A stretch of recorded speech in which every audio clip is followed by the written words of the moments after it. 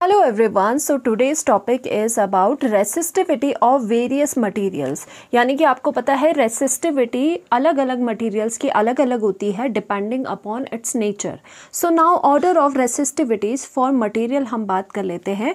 तो इसमें सबसे पहले आता है, जिसकी सबसे कम रेसिस्टिविटी होती है, वो है आपके कंडक्टर्स यानी कि मेटल्स कंडक्टर्स ओके okay, ये कंडक्टर्स हो गए और इसके बाद जिनकी आपकी रेसिस्टिविटी इससे थोड़ी ज़्यादा होती है वो होते हैं आपके सेमी कंडक्टर्स वो हो गए सेमी कंडक्टर्स ओके okay, यानी कि इससे थोड़ी सी ज़्यादा रेसिस्टिविटी इनकी हो जाती है। और सेमी कंडक्टर से भी ज़्यादा यानी कि सबसे ज़्यादा जो रेसिस्टिविटी होती है वो होती है आपकी इंसुलेटर्स की। इंसुलेटर्स और आपको पता होगा रेसिस्टिविटी एक्चुअल में होती क्या है? रेसिस्टिविटी का जो सिंबल होता है वो होता है आपका रो ओके okay, रो और ये रेसिस्टिविटी यानी कि रेसिस्टिविटी जो होती है आपकी वो इन्वर्सली प्रोपोर्शनल होती है कंडक्टिविटी के. यानी कि अगर किसी मटेरियल की रेसिस्टिविटी आपकी बहुत ज़्यादा है तो दैट मीन्स वो क्या हो जाएगा? उसमें जो कंडक्टिविटी है उसकी बहुत ही कम हो जाएगी. जैसे कि आप यहाँ देख सकते हो, अगर हमने ये कहा कि कंडक्टर की जो रेसिस्टिविटी है वो सबसे कम है तो दैट मीन्स उसकी कंडक्टिविटी सबसे ज़्यादा होगी, यानी कि उसमें जो करंट है सबसे ज़्यादा इजीली पास करेगा। क्योंकि आपको पता है रेसिस्टिविटी अगर ज़्यादा होगी तो करंट के फ्लो को वो चीज़ रोकती है। यानी कि करंट के फ्लो को वो चीज़ रेसिस्ट करती है अगर रेसिस्टिविटी ज़्यादा हुई। तो इसी वजह से, यानी कि इंसुलेटर में आपको पता है करंट का फ्लो नहीं होता निग्लिजिबल ही होता, नहीं होता। तो इसका मतलब क्या हुआ कि उसमें रेसिस्टिव रेसिस्टिविटी बहुत ज़्यादा, बहुत हाई है। तो यहाँ से हमने अलग अलग मटेरियल्स के बारे में रेजिस्टिविटी के बारे में पता लगाया। तो यहाँ पर पहले बात कर लेते हैं अबाउट द कंडक्टर्स कंडक्टर्स में क्या आएगा? अबाउट द मेटल्स तो यहाँ पे मेटल्स का अगर देखा जाए कि वैल्यू कितनी होती है मेटल्स के केस में जो रेसिस्टिविटी की वैल्यू होती है रेसिस्टिविटी की जो वैल्यू होती है रो वो कितनी होती है? Ten raise to the ten raise to the minus eight ohm metre अब ये ओम मीटर क्या है? ये आपका रेसिस्टिविटी का यूनिट है। इससे लेके आपका ten raise to the minus six ohm metre हो जाता है। डन इतनी ज़्यादा कम होती है देखो ten raise to the power minus eight है तो बहुत ही कम वैल्यू है। फॉर सेम uh, आपका क्या हो जाएगा अगर आप इंसुलेटर्स की बात कर रहे हो इंसुलेटर्स अब क्या आप एक्सपेक्ट कर रहे हो कि जो इंसुलेटर्स है उसका बहुत ज़्यादा आपका रेसिस्टिविटी होनी चाहिए? सो so, इनकी जो रेसिस्टिविटी की वैल्यू होती है जो रो होती है उसकी वैल्यू कितनी हो जाती है? बहुत ज़्यादा होती है ten raise to the power fourteen ohm metre से लेकर इस रेंज में होती है। Ten raise to the power sixteen ohm metre की रेंज में होती है।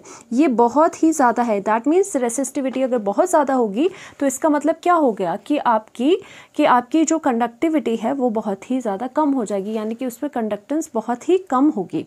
सो so, यहाँ पर अगर देखा जाए तो ये कितनी आपकी जो रेसिस्टिविटी है वो कितनी है एक्चुअल में? वो लगभग आपके ten raise to the eight times ten raise to the eight times greater है।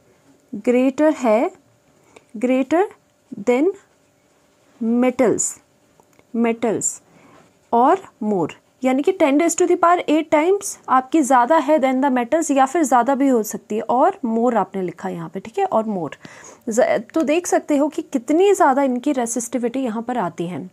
और इसमें इंसुलेटर्स में एग्ज़ाम्पल आप लिखोगे, जैसे इंसुलेटर के एग्ज़ाम्पल क्या हो गए? जैसे आपका क्या हो गया? ग्लास हो गया ग्लास भी एक इंसुलेटर है और आपका माइका हो गया, इन सब की रेसिस्टिविटी क्या होती है? बहुत ही ज़्यादा हो जाती है। और जैसे मेटल्स में है, अगर मेटल्स में आपको एग्ज़ाम्पल देना हो तो मेटल्स में सबसे ज़्यादा जो आपकी देखी जाती है, सबसे लेस जो रेसिस्टिविटी देखी जाती है, वो किसकी होती है? ए यानी कि सिल्वर की, फिर आपकी कॉपर की होती है। सिल्वर की जो रेसिस्टिविटी है, वो है one point six into ten raise to eight और जो कॉपर होता है कॉपर की तो घर में हाउस होल्ड में देखा होगा, हर जगह वायर्स भी बनी होती है कॉपर की। अब इसकी रेसिस्टिविटी आपकी 1.7 point seven into ten raise to the minus eight है। तो यानी कि सबसे कम रेसिस्टिविटी किसकी है? इसकी, उसके बाद ये है। तो हालाँकि हम कॉपर का यूज़ करते हैं वायर्स बनाने के लिए, क्योंकि ऑब्वियस सी बात है, इसकी रेसिस्टिविटी अगर कम है तो उसमें कंडक्टेंस बहुत अच्छे से होगी। उसको आपके करंट के फ्लो को रेसिस्ट करने के लिए कोई भी रेसिस्ट रेसिस्टिविटी उतनी ज़्यादा नहीं है। हालाँकि जो आपकी ये एज ही है दैट मीन्स आपका जो ये सिल्वर है, उसकी जो रेसिस्टिविटी है, वो बहुत ही कम होती है। सीयू से भी कम होती है कॉपर से भी कम होती है। बट क्योंकि ये एक्सपेंसिव होता है सिल्वर आपका एक्सपेंसिव होता है, इसलिए इसके वायर्स बनाना कोई समझदारी वाली बात नहीं है।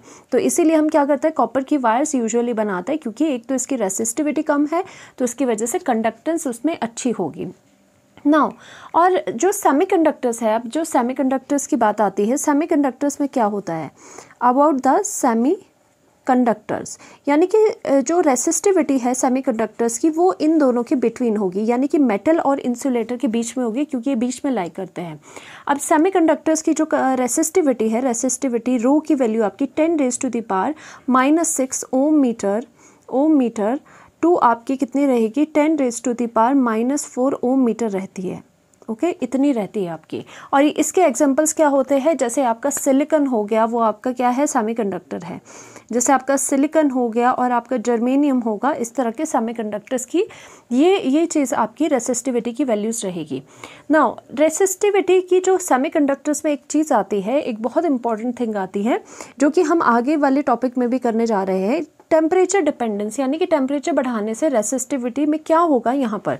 देखो, पहले मैं आपको बता दूँ, जो कंडक्टर्स होते हैं, जो यानी कि मेटल्स होते हैं, उसमें टेम्परेचर कैसे डिपेंड करता है कि अगर टेम्परेचर इंक्रीज हो रहा है तो रेसिस्टिविटी यानी कि रेसिस्टेंस जो है, या रेसिस्टिविटी कह लो, वो भी बढ़ जाती है। बट यहाँ पर सेमी के केस में क्या होगा?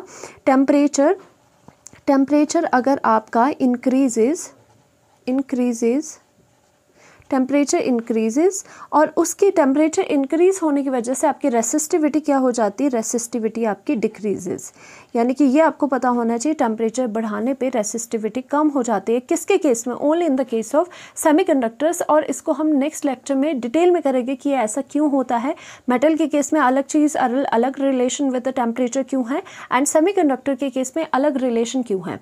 और दूसरी बात इसकी सेमीकंडक्टर्स की, कि हम रेसिस्टिविटी को ना चेंज कर सकते सकते हैं रेसिस्टिविटी को अफेक्ट कर सकते हैं इम्प्योरिटी डालने की वजह से। तो आप यहाँ पर लिख सकते हो resistivity resistivity resistivity of semiconductor of semiconductor conductors are affected are affected are affected by by small amount by small amount of impurity. Okay small amount of impurities की वजह से क्या होगा? आप स्मॉल अमाउंट ऑफ़ इम्प्योरिटीज़ डाल रहे हो और उसकी वजह से आपकी जो रेसिस्टिविटी की वैल्यू है वो अफेक्ट हो जाती है। सो so, आज के लिए हम इस लेक्चर में यही पढ़ते हैं कि रेसिस्टिविटी की अलग अलग वैल्यू होती है depending upon the nature of the material जो आपने मटीरियल लिया है। Okay thank you so much